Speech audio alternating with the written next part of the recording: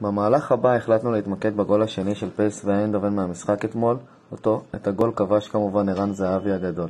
בתחילת המהלך ערן יורד אחורה לקבל את הכדור לאחר חילוץ כדור במרכז המגרש. הקשר דוחף את הכדור לעומק לכיוון מאלן, ערן מזהה זאת ומיד עושה תנועה לעומק, בחצי תפנית. הכדור מגיע למגן, ערן עם העיניים על הכדור ודוחק את הכדור פנימה ממטר.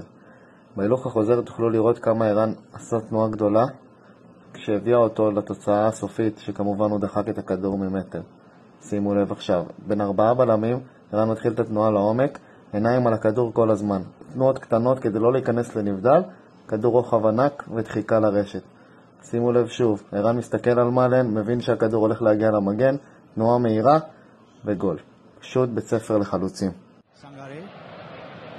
Daar gaat PSV weer met Malen. Max aan de buitenkant. Filip Max. Zahavi. En daar is de 0-2. Ja, als...